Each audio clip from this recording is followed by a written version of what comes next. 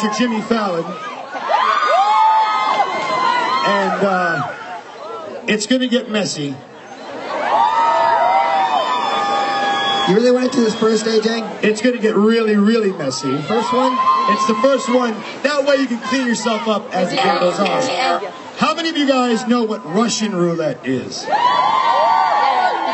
well that one ends in death, so we're not doing that one, okay? This one's called egg roulette. So basically, here's the rules. There's a dozen eggs, six are hard-boiled,